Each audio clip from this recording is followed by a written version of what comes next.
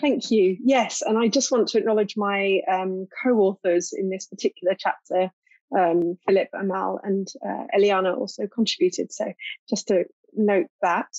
Um, yes, I'll talk about the role of ethics guidelines, and I'll just um, center this on this this question that also we've been discussing, which is how we incorporate ethics and human rights consideration considerations in the governance of emerging technologies. And so, in the context of that question, the answer that we can give in this session is to do with well uh, practical instruments such as ethics codes and ethics guidelines. Um, what we're um, particularly interested in is ways to uh, guide and govern ethical behavior. Um, and these offer slightly different approaches.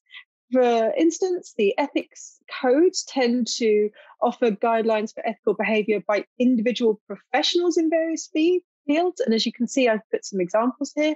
This includes, for example, uh, where you have a code of ethics that outline aspirational values and principles, or where you have a code of conduct that's more practical and outlines accepted behaviors, um, you know, what you can do, what you ought not to do, that's more prescriptive. And I've noticed actually the idea that a code of ethics is sometimes considered vague, um, and that's partly to do with that aspirational uh, element, whereas a code of conduct is considered a little bit more um, proactive and uh, applied. Uh, and then, of course, you do have a, a, mixed methods approach, such as the code of ethics and professional conduct, which might try to integrate uh, integrity based and compliant based uh, codes. Um, but what we find in SIENNA is that for the kinds of technologies uh, particularly emerging technologies, what we're particularly uh, interested in are the ways that uh, ethics guidelines rather than codes offer uh, an approach to setting standards for practices, uh, especially with multiple actors. So it allows for something a little bit broader uh, with scope for further specificity later down the line. So when we think about ethics guidelines, what we're talking about then are uh, guidelines for general practices for either a single technology or a set of technologies. It might uh, include multiple actors and contexts, and it may uh, define desirable outcomes. Um, there's also the scope, as I say, to, to narrow that approach later down the line for more practice specific ethics guidelines, um, for instance, for research contexts. Um, but yes, that would be that would be a sort of next step or an alternative approach.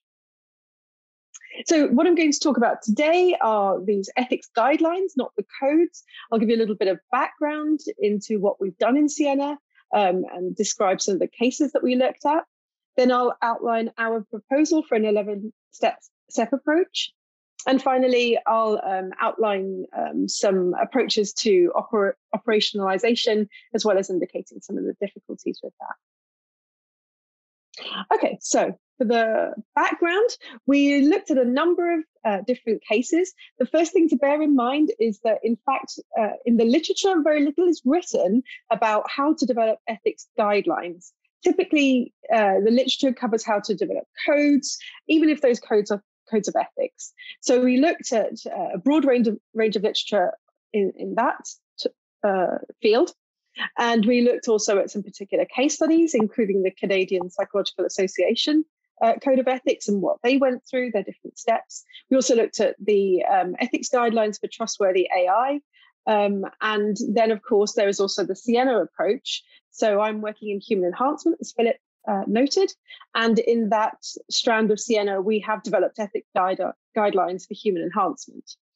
Um, so what we did from is to extrapolate from these particular cases um, a number of steps, a number of um, difficulties, uh, as well as sort of practical advice for undertaking this very important work. Uh, including, you know, ways in which to engage with stakeholders, ways in which to categorize, um, to groundwork in ethical values and principles, engaging with experts, uh, including independent experts, and also those important literature reviews that I mentioned. Um, for the SIENNA approach in human enhancement, these are the five steps that we took. So we began by mapping relevant fields. We also, um, that included the literature reviews, which was quite broad, it covered a number of different areas. Um, we also um, focused on what values uh, the guidelines or, or, any guidance, in fact, might need to have at their heart. And then, of course, came stakeholder engagement, thinking about who we talked with, about what and when, trying to ensure a broad range of views, um, which takes into account consultation and how to balance judgments and disagreement. The third step concerned gathering the consensus, which needs to be discursive, flexible, responsive, um, assessing people's positions. So not only their um, perspectives, but their the, the context within which those perspectives are offered, and of course the process of drafting, drafting, and redrafting um, in response to all of that um, information. And then the next step we had was a public consultation. You know, that required that we thought quite carefully about who we would consult and how, and um, not to restrict which public uh, pe- uh, people responded, but rather to ensure that we were reaching a broad range by thinking about how people would learn about the information, as well as how to frame understanding and knowledge and ways in which to distinguish between individuals and groups. And finally, the stage that we've been at in, in recent uh, months is the buy in stage, looking to implement these um, proposal, these proposals and guidelines uh, as practical strategies and solutions, um, uh, utilizing networks and uh, raising awareness. Okay, so that's um, what we did. Our proposal, therefore, from that is for an 11 step approach to the development of guidelines. So if other people want to do the same kind of thing, here's what we suggest. Um, so I'll give you the sort of broad overview and then I'll go into a little bit more detail. Our first three steps we estimate take between a year or two years, and it's partly because of how much work is is needed. For instance, uh, in establishing establishing the rationale, establishing support, making a development plan. And as I say, I'll go into these in a bit more detail in a moment. This is just to give you a, a sort of snapshot, an overview of what this looks like. Uh, the next stage you can sort of break into three parts the, the, securing of resources, collecting information, and establishing those basic principles. And then you have the sort of drafting consultation uh, process, which then ties into that establishing of um, a mechanism for ownership and revision. And finally, the dissemination, implementation, and enforcement stages. So that's the snapshot in more detail that first step requires that you establish that the guidelines are needed. And that can be quite a tricky process because you need to consult with lots of different um, people. Um, that leads neatly onto the second step, which includes garnering support as well as commitment from stakeholders. And this may send you back to the first step, where you start to question again are the guidelines needed? Do the stakeholders think that they're needed? And if so, will they or won't they commit? And implications of that. This then leads to the third step of um, making this development plan, defining objectives, constraints, requirements, resources, structures, procedures, timetables, and so on.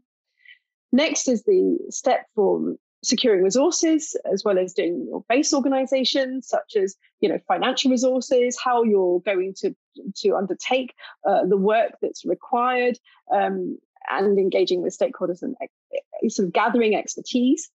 After this is the uh, further information collection, but this is to do with those you know existing guidelines, principles, um, cases in law, um, as well as methods and procedures that may be context specific for the guidelines being developed.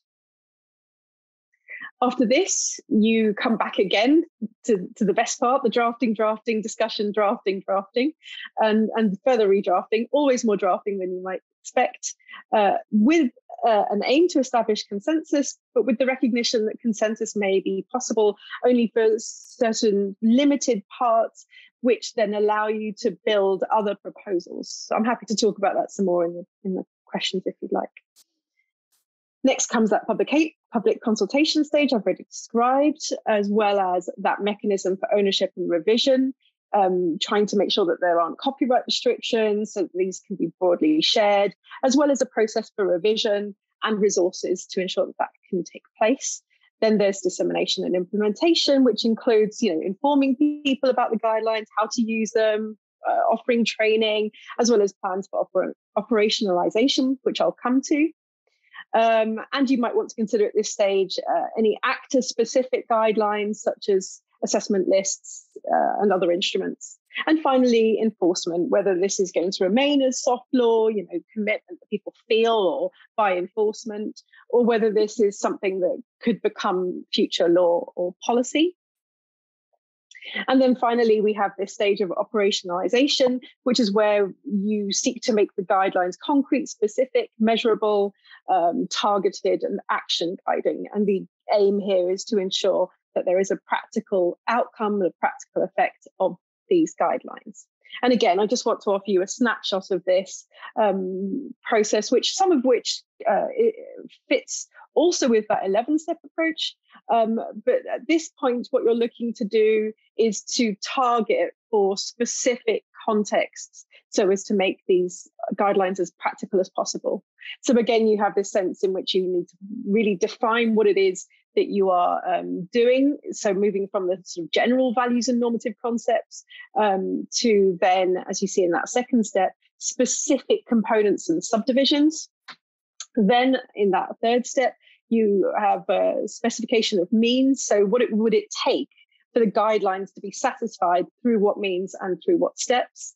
Then you need to consider also the action, actor, and practice introduction. So this could include attaching actions to guidelines. So as to ensure that there is an expectation for who is going to do what. And that still can be in very general terms. Whereas at the next stage, you might be thinking, and this doesn't have to be in a sort of linear temporal um, context. These things can happen simultaneously. You can come back to one from another and so on. Um, but as another step, step five, you might be targeting more specific actors and actions, whether they're um, particular uh, developers, for example. Uh, and then finally, you might also be thinking about this in terms of specific cases um, and offering guidance to actors who might want to use these guidelines, but might need um, to know a little bit more about how to um, how to use them and in what practical ways they can apply them.